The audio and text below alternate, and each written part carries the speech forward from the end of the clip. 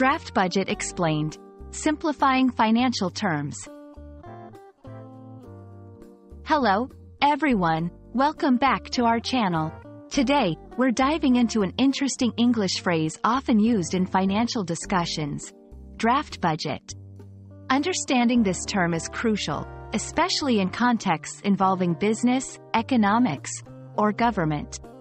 Let's break it down together and make it easy for all English language learners.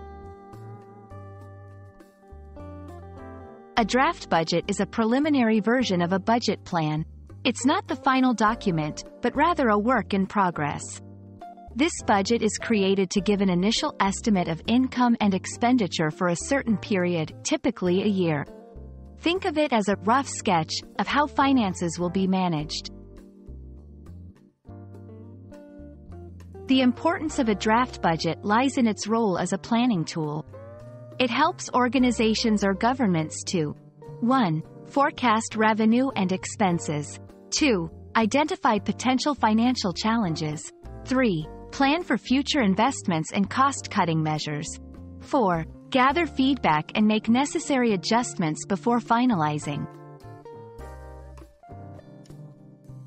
A draft budget usually consists of several key components.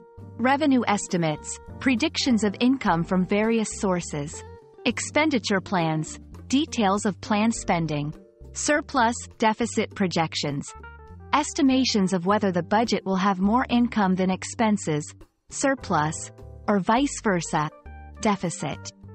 Assumptions and predictions, the economic or business conditions taken into account while preparing the budget. Creating a draft budget involves several steps. 1. Gathering data, collecting financial records and forecasts. 2. Estimating revenues and expenses, making informed predictions based on past data and future prospects.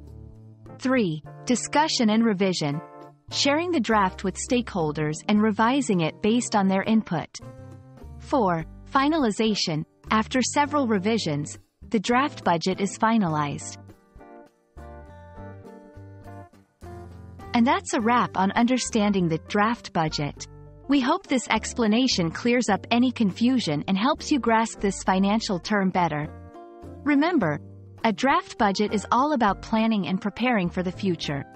Stay tuned for more insightful videos on English language learning. Happy learning, and see you in the next video.